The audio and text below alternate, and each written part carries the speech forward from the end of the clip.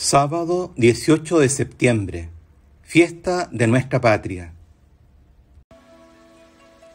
He querido enviarles un saludo en estas fiestas patrias de este año 2021.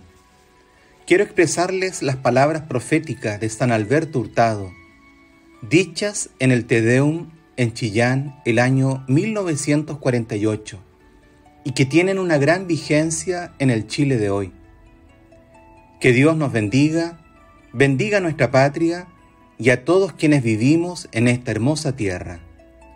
Los invito a escucharlo. Chile tiene una misión en América y en el mundo.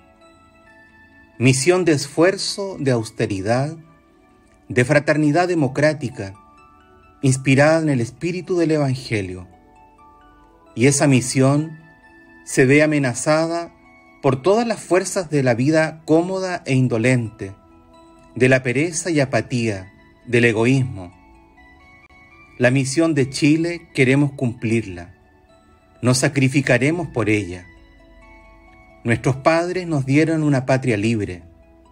A nosotros nos toca hacerla grande, bella, humana, fraternal.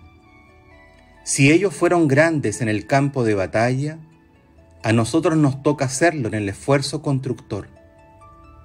Pero esta misión ha dejado de cumplirse porque las energías espirituales se han debilitado, porque las virtudes cristianas han decaído, porque la religión de Jesucristo, en que fuera bautizada nuestra patria, y cada uno de nosotros, no es conservada, porque la juventud sumida en placeres ya no tiene generosidad para abrazar la vida dura del sacerdocio, de la enseñanza y de la acción social.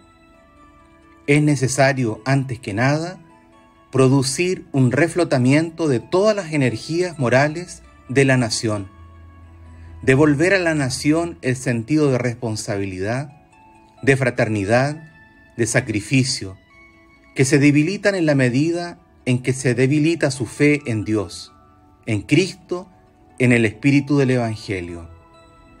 Palabras de San Alberto Hurtado. Feliz 18 de septiembre.